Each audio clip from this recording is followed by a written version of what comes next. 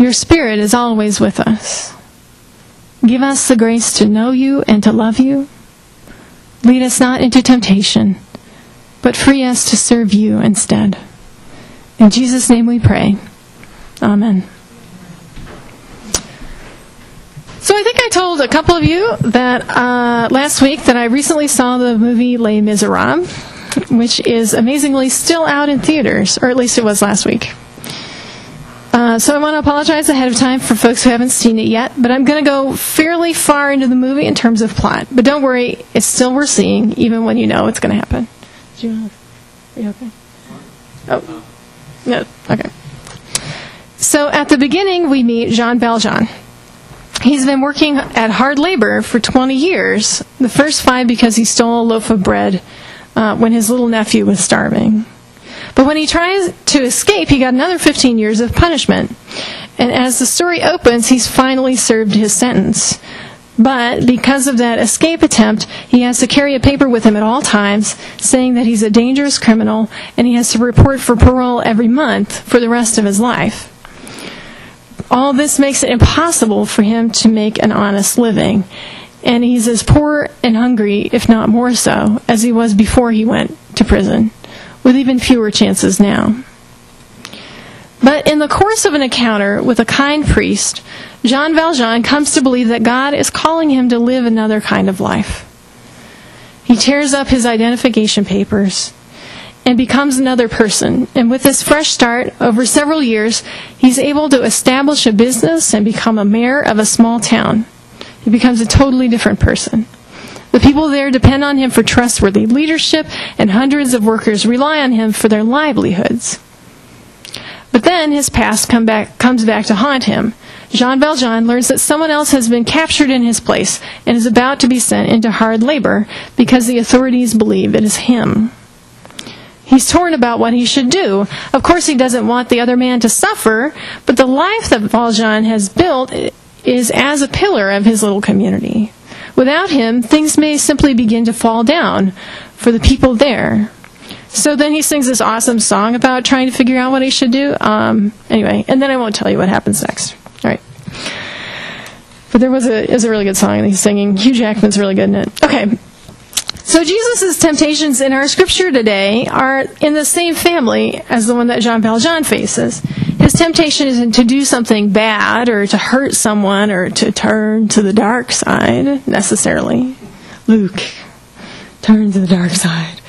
Sorry, anyway, really, okay, no one here is a Star Wars fan except Scott? All right. Thank you. I got it. Thank you, Scott. All right.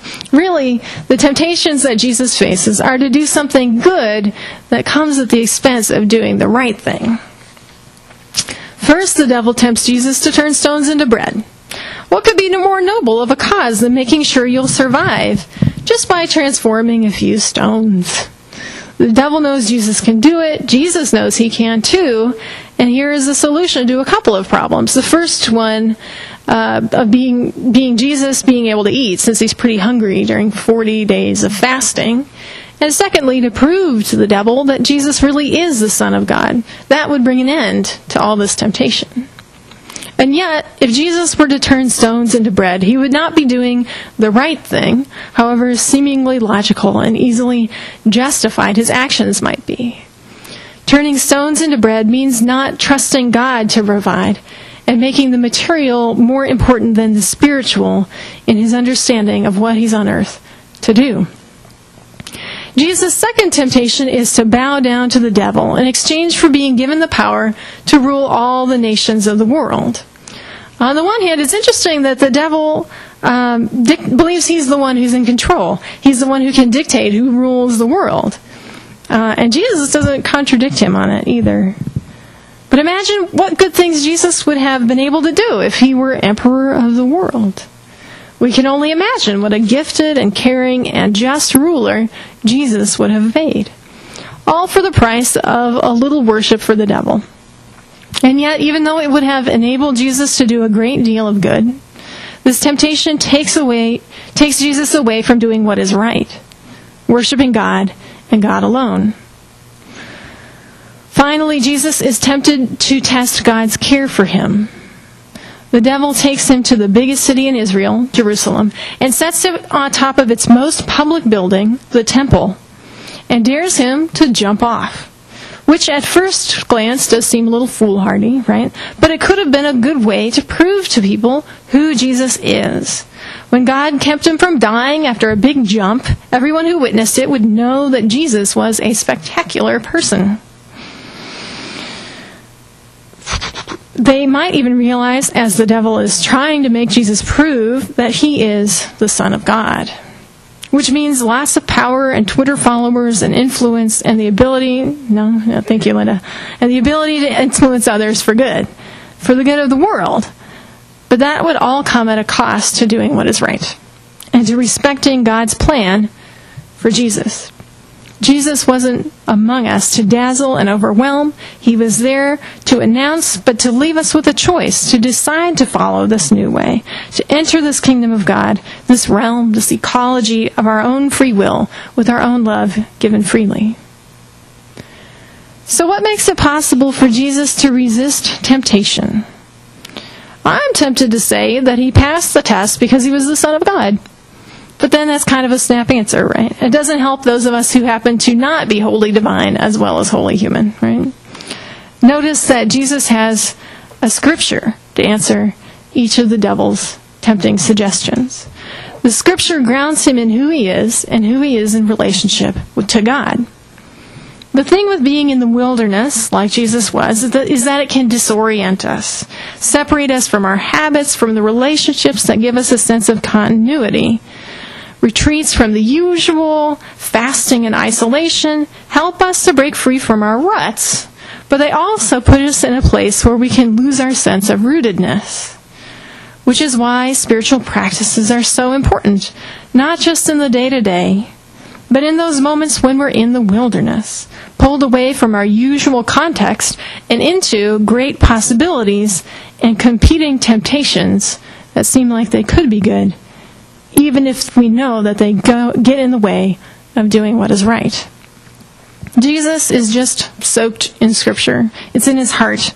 And it gives him the grounding and the strength to resist the temptation to do evil in the name of good. So now, as you can see, we've got kind of a walking path. Folks have been asking about this, right? We've got kind of a walking path for meditation laid out. Um, I was thinking about, I was modeling this after um, labyrinths that are used in some churches and sacred places as an instrument of prayer. Of prayer. A labyrinth is like a maze, except there's only one path into the center and one path out, the same path out. You can't get lost.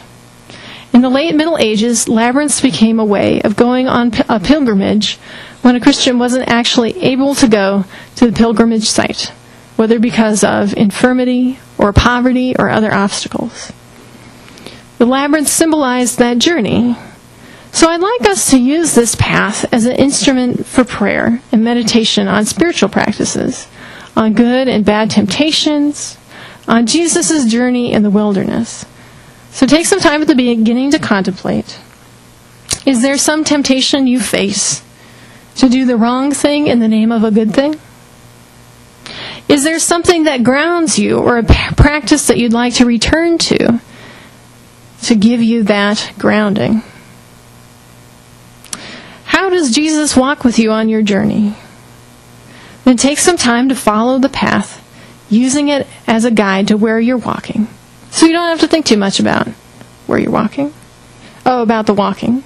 And when you get to the center, which is over here, Consider whether there is something you would like to let go of and offer to God, or whether there is something you would like to ask for as a gift from God.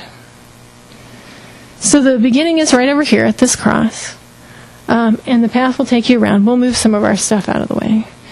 Um, but let's uh, let's do a song of preparation together, and then when you're ready, uh, we'll walk the path.